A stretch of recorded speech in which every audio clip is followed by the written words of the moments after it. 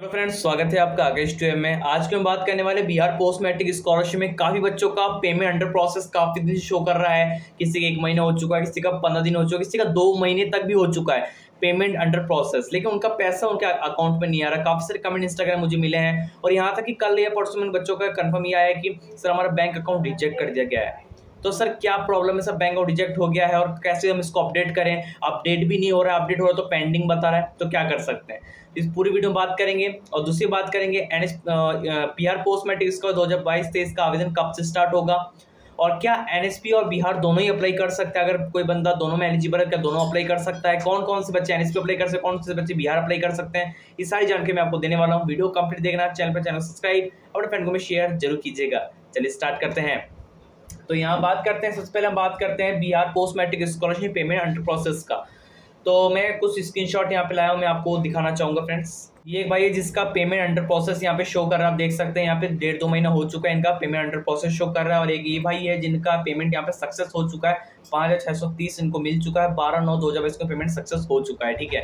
तो काफ़ी टाइम लगता कितना टाइम लगता है पेमेंट अंडर प्रोसेस में? पैसा आने तक का कई बच्चों का फॉर्म रिजेक्ट हो चुका है, जो बैंक अकाउंट रिजेक्ट हो गया, उसको कैसे अप्रूव कर पाएँगे? सारे प्रोसेस में आपको बताऊँगा। वीडियो कंप्लीट देखते रहना।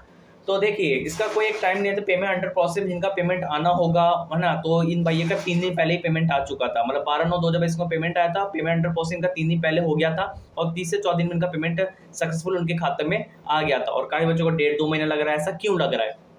हो सकता है आपका जो पेमेंट अंडर प्रोसेस के बाद काम ही स्टार्ट ना किया हो। B R P M S की टीम ठीक है? B R P M S की टीम अगर काम स्टार्ट कर देगी, आपके पेमेंट अंडर प्रोसेस के बाद बैंक अकाउंट में ढालने का काम कर देगी तो आपका हो सकता है। अभी तक स्टेटस चेंज नहीं हुआ कि आपका पेमेंट अंडर प्रोसेस दो महीने पहले वही था। अभी भी आपका पेमेंट अंडर प्रोसेस इसका मतलब आपका कोई काम हुआ ही नहीं उसमें। नए आपके खाते में पैसा आया तो पैसा गया था। ठीक है, इसका मतलब काम हुआ ही नहीं है। तो कितना टाइम लग सकता है? तो देख लीजिए, दो महीना अप्रोक्स हो चुका है बच्चों को पंद्रह दिन हो चुका है, किसी को बीस दिन हो चुका है। तो अभी तो हाल ही में एक दो बच्चों के कमेंट आए थे, पैसा मिल चुका है, लेकिन हो सकता है इन कुछ दिनों में आपको पैसा यहाँ पे दोबारा रिसीव हो जाए। ठीक है, बस अपना बैंक अकाउंट अपडेट रखिए। जिन बच्चों का बैंक अकाउंट रिजेक्ट आ रहा है, मैं आपको बताना चाहता हूँ उनको क्या करना है। उनको बी आर स्कॉलरशिप वेबसाइट पर आना है S C S T student जो भी है, उस पर आपको क्लिक कर लेना है। जैसे क्लिक है, थोड़ा सा लोडिंग खाएगा, उसके बाद आपको log in for already registration student आपको क्लिक करना है। जैसे इस पर क्लिक अपना यूज़र आईडी और पासवर्ड और कैप्चा भरने के बाद लॉगिन कर लीजिएगा। लॉगिन जैसे ही कर लेंगे, आपका स्टेटस दिखा दिया जाएगा, आपका क्या अप्रूव है इंस्टीट्यूट वेरीफाई जो भी आपका अप्रूव है, ऊपर एक कॉर्नर पे लिखा है, ऊपर कॉर्नर होगा अपडेट योर बैंक डिटेल्स ऐसा कुछ ऑप्शन होगा, उस पर जाइएगा update your bank detail option में जाने के बाद आपको बैंक अकाउंट डिटेल ऑप्शन तो नहीं मिलेगा चेंज करने का, लेकिन उसको आप देख सकते हैं कि आपका बैंक अकाउंट पहले क्या था, अब क्या है। एक बार देख सकते हैं। अगर आपका डेट ऑफ़ बर्थ गलत है डेट ऑफ़ बर्थ को आप चेंज कर सकते हो मॉडिफाई कर सकते हैं, ठीक है? ये ऑप्शन आपके पास होंगे, ठीक है? इसको आप सक्सेसफुली कर सकते हो, ठीक है? तो कुछ दिन बाद देखेंगे, जिनका रिजेक्ट हो चुका है, उनका उनका अप्रूव होना स्टार्ट हो जाएगा, ठीक है? अब बात करते हैं इन चीज़ों के बारे में। दो हज़ार में आवेदन कब से होंगे, ठीक है? तो देखो 2022 तेईस में आवेदन का कह नहीं सकते, क्योंकि पिछले साल 2022 तेईस का जो आवेदन है, वो स्टार्ट हो गए थे ऑलरेडी स्टार्ट हो गए थे, सितंबर के महीने से, लेकिन इस बार अक्टूबर भी हो चुका है, आवेदन स्टार्ट नहीं हुए। एक एडवर्टाइजमेंट भी आया था, इस दिन से आवेदन होंगे, लेकिन फॉर्म स्टार्ट ही नहीं हुए। तो क्या करें? तो कई बच्चे बोल रहे थे कि सर पहले एनएसपी और बिहार दोनों एक साथ करते थे। पहले NSP scholarship Bihar post matric scholarship दोनों ही एनएसपी स्कॉलरशिप फॉर्म भरे जाते हैं लेकिन अब क्या किया 2021 से क्या किया गया था कि आपका जो बिहार का अलग वेबसाइट बना दिया और एनएसपी का अलग वेबसाइट बना दिया।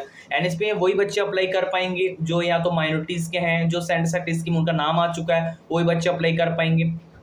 अगर आप एस सी एस टी के एनएसपी में अप्लाई कर रहे हैं अगर आप बिहार भी अप्लाई करना चाहते हैं तो दोनों में से दोनों फॉर्म आपका रिजेक्ट होगा, आपका हाई रिस्क रहेगा कि फॉर्म आपका रिजेक्ट हो जाएगा, आपको एक पैसा नहीं मिलेगा।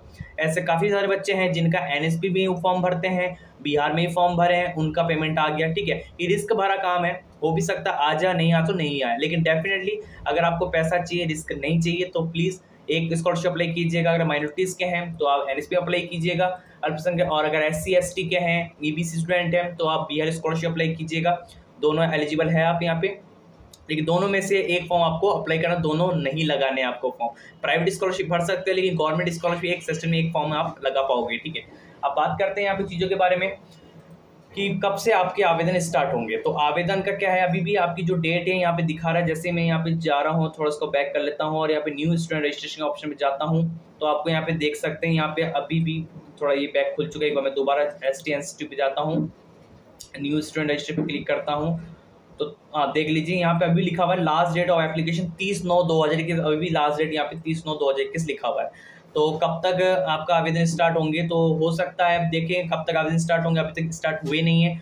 क्या दो हज़ार बीस इक्कीस का बच्चे भी इसको अप्लाई कर पाएँगे? दो हज़ार बाईस में क्या दो हज़ार इक्कीस बाईस वाले भी इसको अप्लाई कर पाएँगे? क्या दो हज़ार बाईस तीस वाले अप्लाई कर पाएँगे? तो मैं आपको बताना चाहता हूँ, पिछले साल क्या हुआ, दो हज़ार इक्कीस में बिहार पीएमएस में एक नियम बनाया गया था।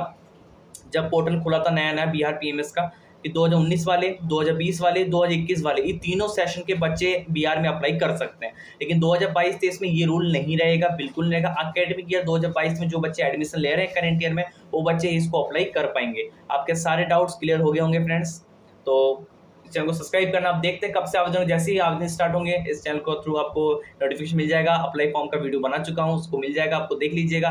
फिर भी कोई डाउट रहता है इंस्टाग्राम फॉलो कीजिए चैनल को सब्सक्राइब कीजिए, मिलते नेक्स्ट वीडियो में।